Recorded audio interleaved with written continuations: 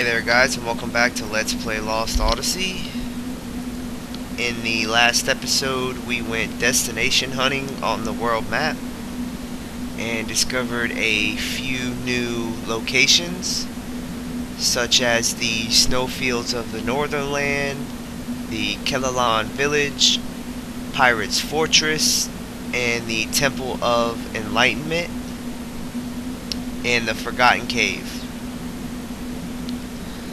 along with finding those uh, locations we unlocked a few ports as well. So we can jump across the world map uh, to navigate it easier. And we also uh, recovered the rest of the underwater items. Just uh, to the north of the northern shore of Ypsilon, in case you were wondering so with that taken out of the way, we are at the White Boa. And go ahead and head over to Mack, who's on the steering wheel, and choose to depart.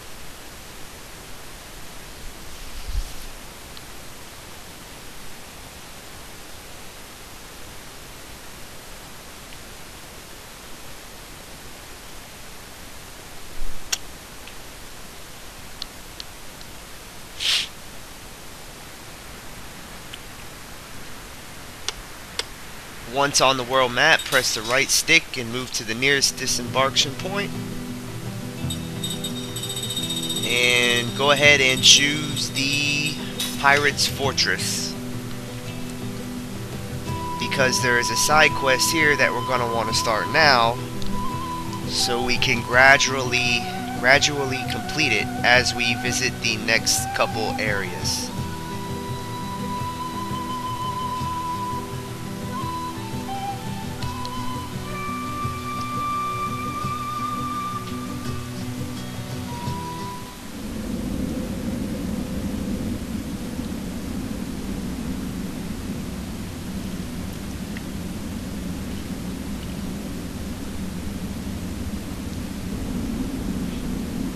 Alright, so once you arrive at the Pirate's Fortress, go ahead and run forward for a scene.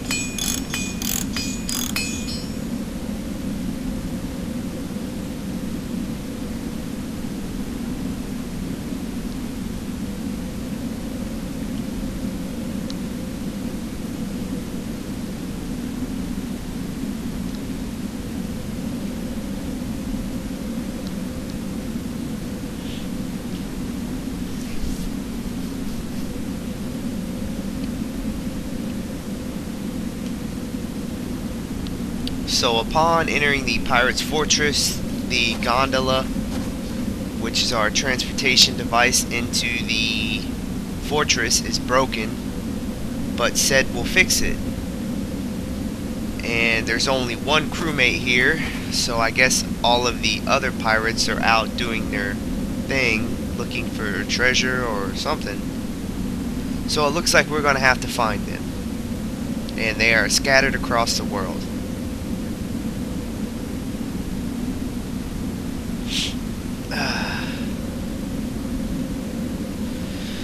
So in order to find these pirates, make sure Sed is in your party has one of your active party members. And then once he's in your party, go ahead and exit the pirate's fortress.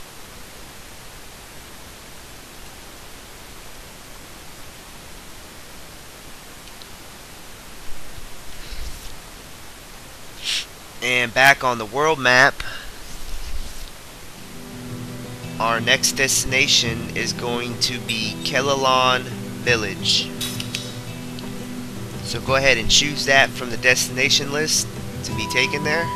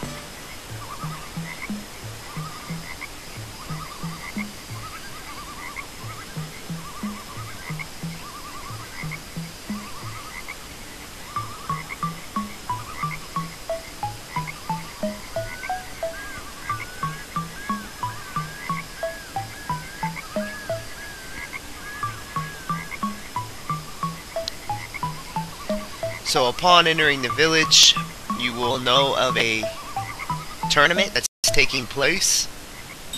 And it looks like Cooke is going to enter it.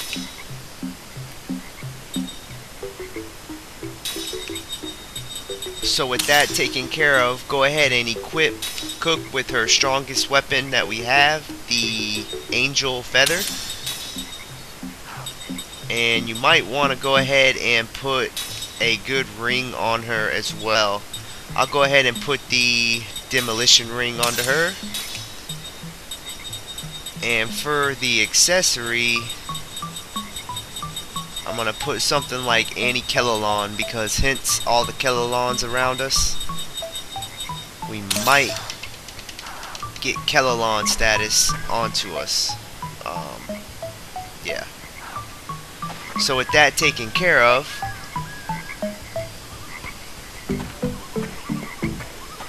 go ahead and head north.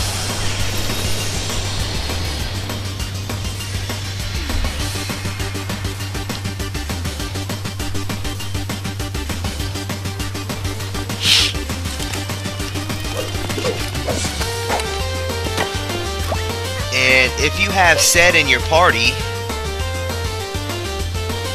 then you should get into a battle and find a pirate surrounded by Kelolons. Now this will only happen if Sed is in your battle party. So make sure you have him in the party.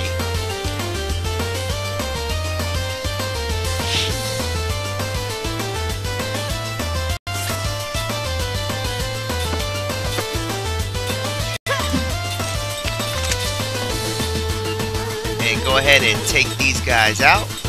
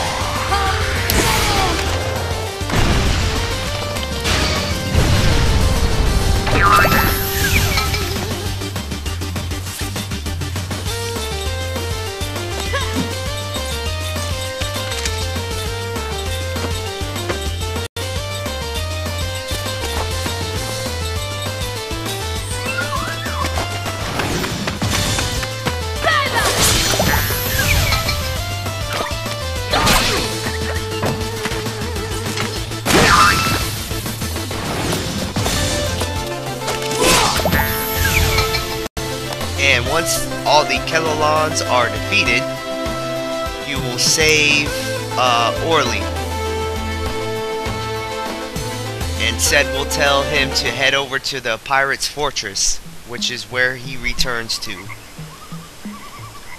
So now that you've saved the pirate from the Kelolons, go ahead and probe the pot a little bit to the northeast for two Kelolon souls.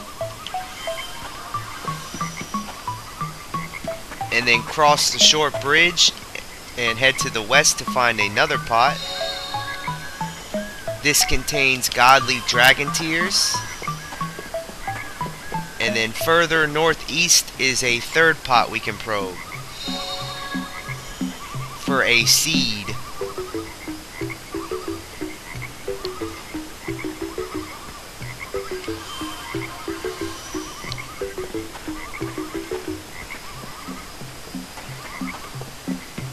Once that's done, go ahead and backtrack to the beginning area and follow the path over to the east to find a royal seal that we can break.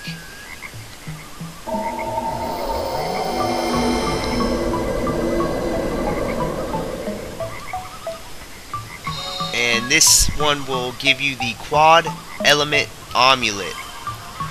Now this is the one of the items we've been waiting for. Go ahead and equip that sucker onto Kaim. This nullifies all elements. which means fire, water, wind, and earth will now do zero damage to you, which is one of the best accessories in the game. And we've been waiting on that for a while. So as soon as we learn that skill, you can go ahead and replace the current skill element's resistance up, which just reduces the damage dealt from fire, water, wind, and earth. Because I'd much rather be completely immune to it than to have the resistance uh, reduced. So now that we got that awesome accessory, we're going to want to learn that right away and then equip it to all characters. And in case you weren't paying attention, that was the royal seal that we just broke to the northeast corner of the village. And it contained a quad elements amulet, which nullifies all elements.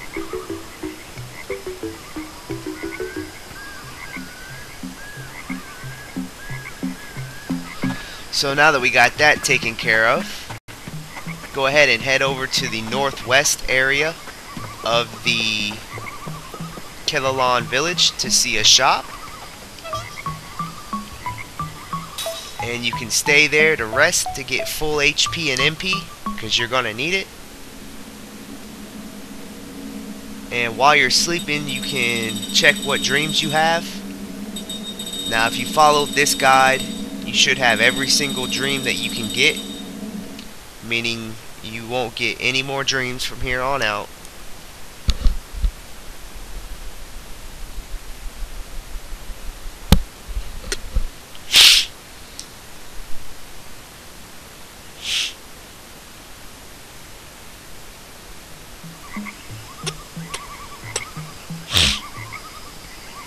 And then to the right of the inn is a shop, the Kelolon store.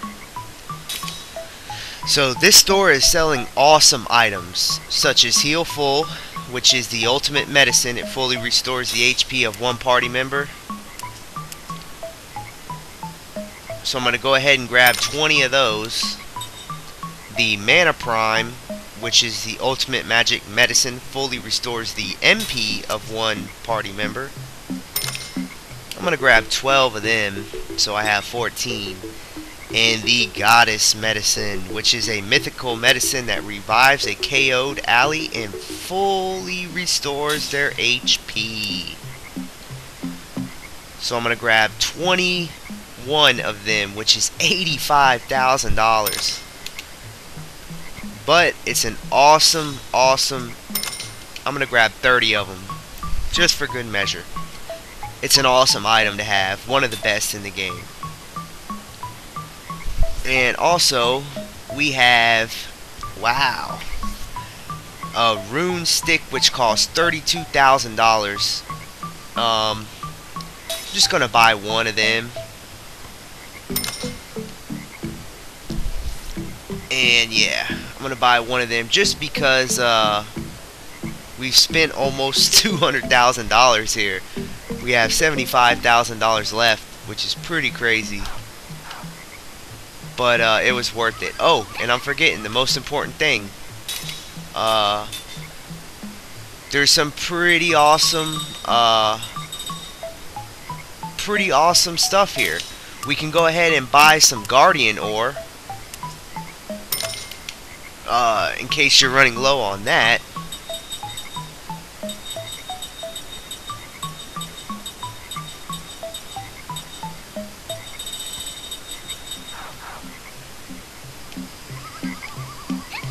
And also, check out the fourth tab, which is Magic.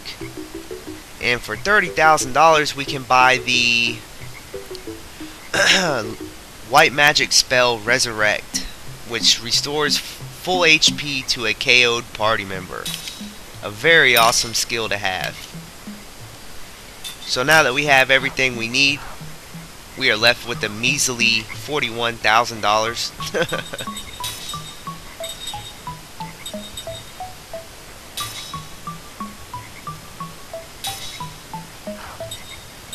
let's go ahead and equip that rune stick onto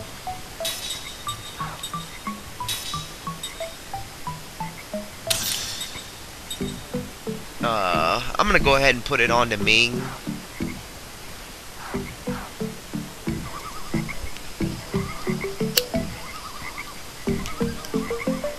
So now that we have everything we need, we can check out our ring assembly components because we just got some more Guardian ore which we needed for the crusher ring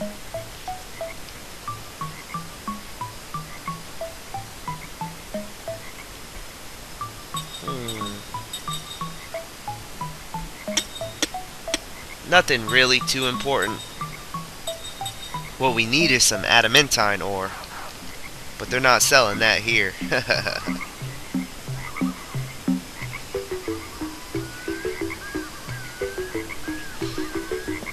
uh, so now that that's taken care of, you can go ahead and uh,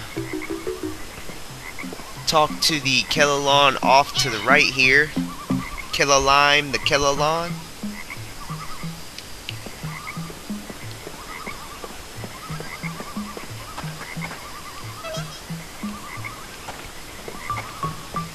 There is a tournament about to be underway here.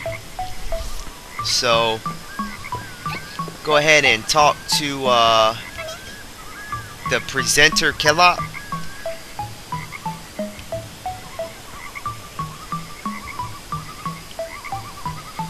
and he will ask if you want to start the tournament with just Cooke only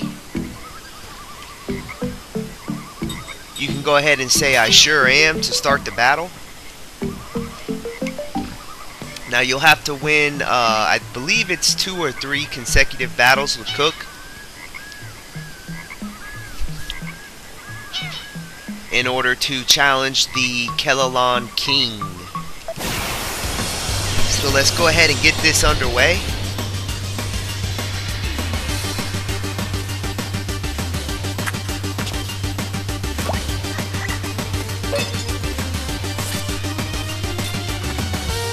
And the middleweight Kelolon, you can go ahead and uh, attack him with a physical attack.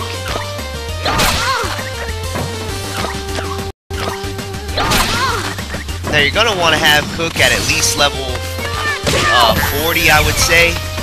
Have a pretty easy time with these guys. I did it on my last playthrough at like level, uh, I want to say level 37 but this time I'm at, I'm at 49, so I should be able to breeze through these guys rather easily. As long as you have a good uh, weapon equipped to Cooke in a pretty decent ring, you should be able to take these guys out with one physical attack. And a few will jump in after you've defeated one, another one will take its place. Just keep on attacking and taking out the Kelolons one after another. There's a total of four different Kellalons that you have to defeat. But they're really easy because one at physical attack with Cooke's weak ass will take them down. Oh, and it looks like there's a fifth one that wants in on the action. So after defeating a total of five Kelolons, the battle should end. They're no match for me.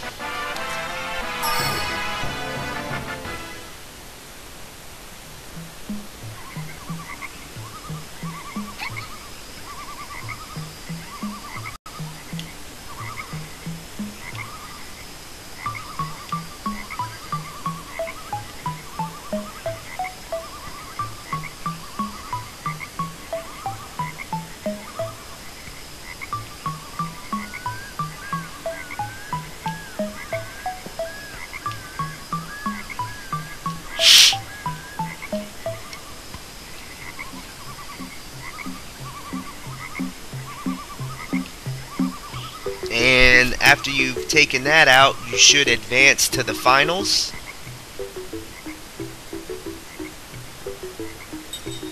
So go ahead and heal Cooke up the full HP before you enter the next battle. And then choose the presenter again.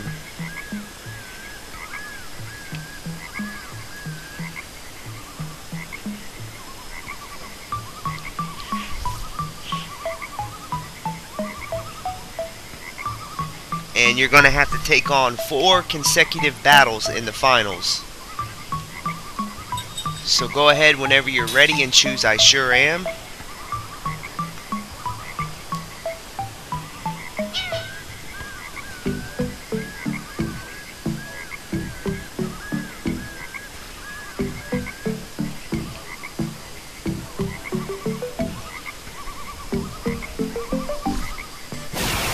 And the first battle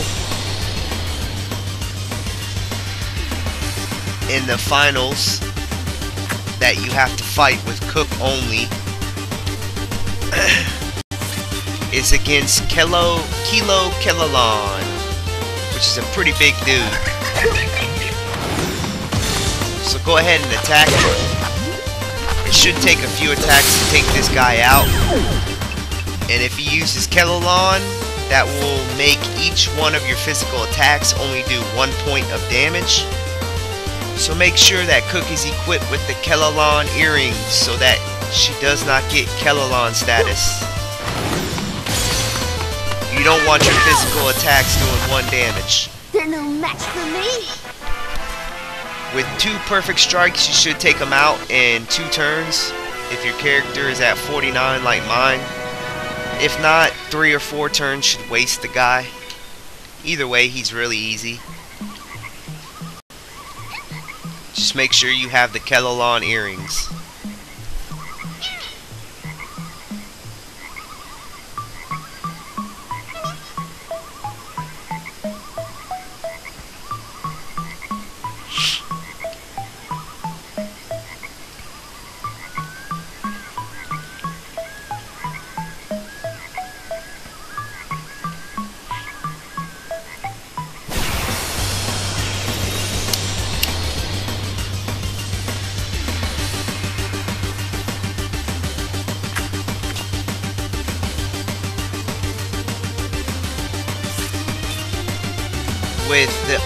Second battle in the finals is against a guy called Uncle Kelolon.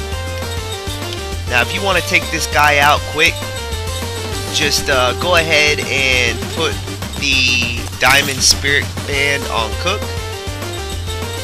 and use the Spirit Magic Gamble. This should take him out rather easily. As long as it hits for a high percentage of damage and that one was kind of lousy.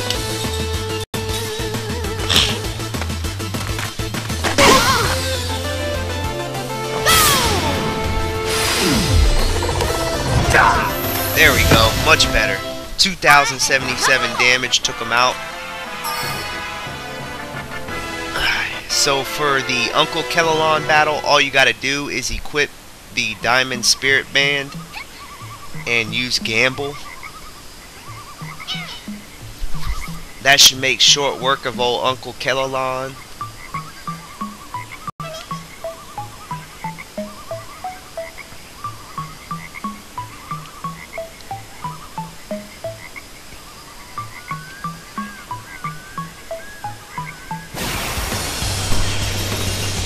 After defeating old Uncle Kelolon, you'll get thrusted into the third battle of the finals.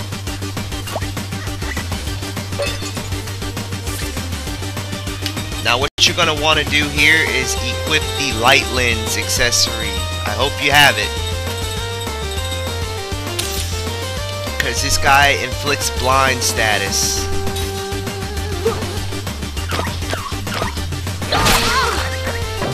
So once that's equipped, go ahead and take this guy out with physical attacks.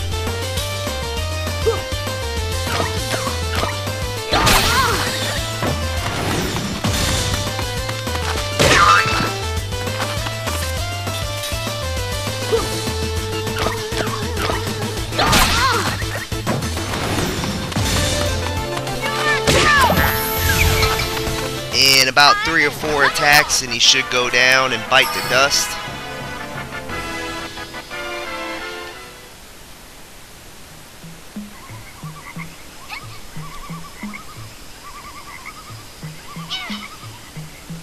After taking that guy out,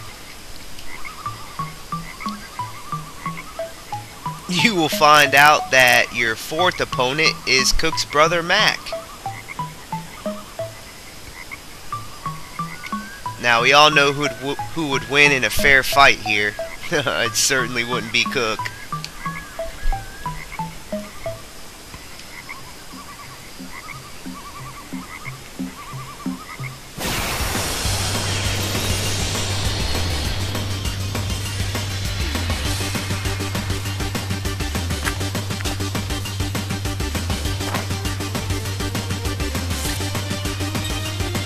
So the first thing you're going to want to do is go ahead and throw a healing tank onto Cooke to get her HP back up.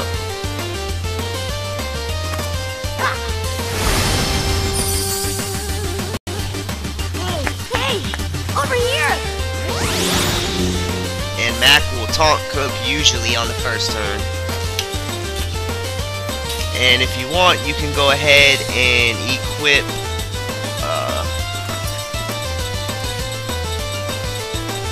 the Wisdom Earrings onto Seth for this fight. And use the spell Flare Up.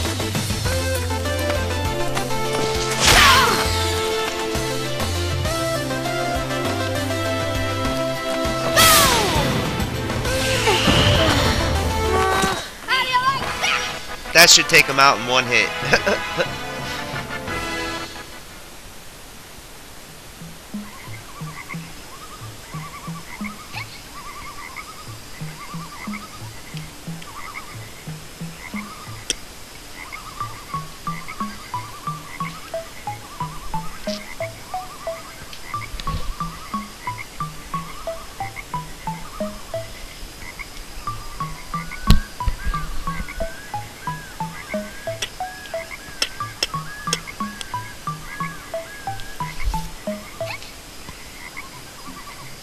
So now that you've finished all of the finals, which is a total of four different battles,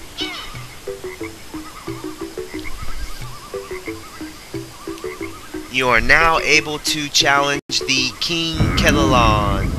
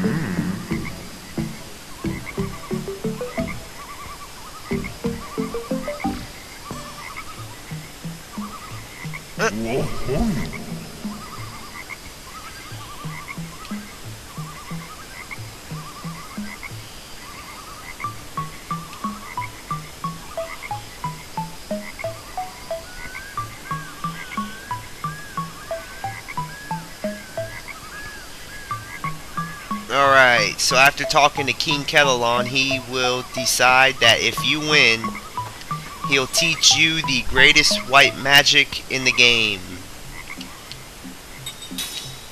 But if you lose, then Sarah and Cooke both have to become his wife. so before you fight the King Kelolon, I highly recommend to go over and save your game.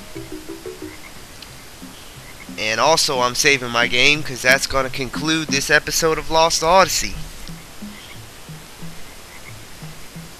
So I'll see you guys back next time where we take on the King Kelolon and learn a very awesome white magic spell. So I'll see you guys next time on the next episode of Let's Play Lost Odyssey.